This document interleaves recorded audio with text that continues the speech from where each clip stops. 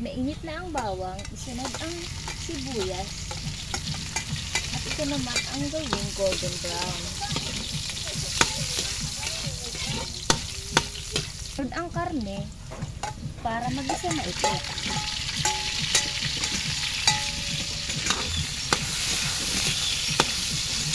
Isang mo.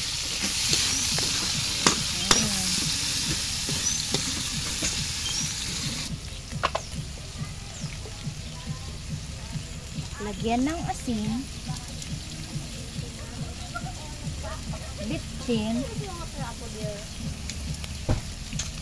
Ulaan?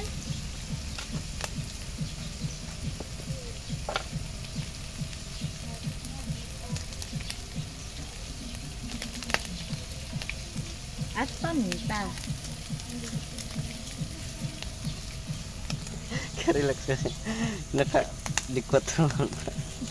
At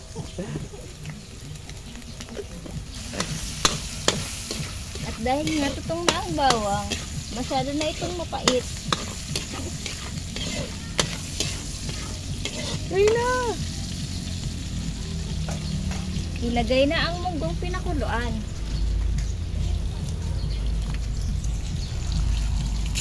Dahan-dahan lang at baka maula. Ay! Init! Sulgi. Lang.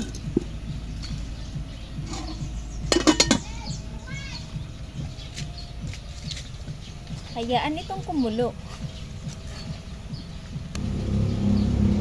Kukulo-kulo na oh.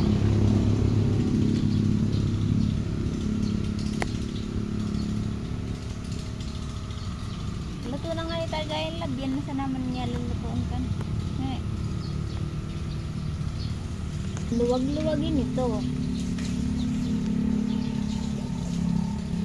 Ka-relax.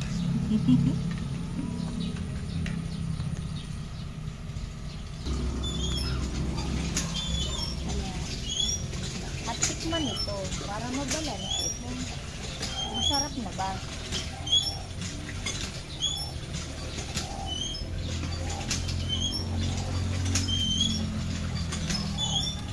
Masarap na siya. Pero kulang pa. No, tag ko pa dila, diwal.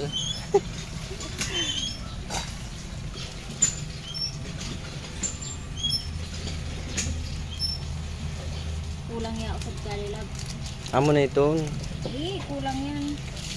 Ato, kada ko. At pwede nang ilagay ang malunggay.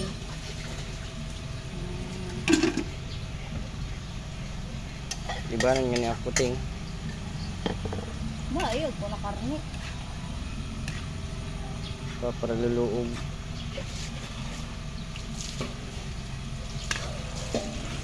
Pwede na collab mga gom.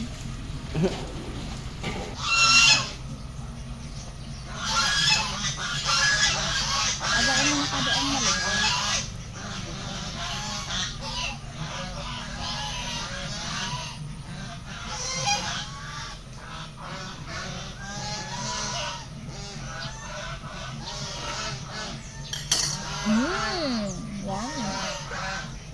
Pwede na. Ito na nga ang munggo. Taran!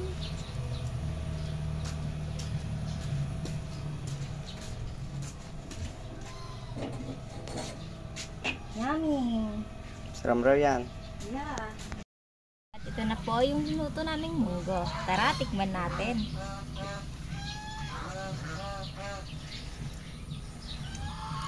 Na, saram. Hmm.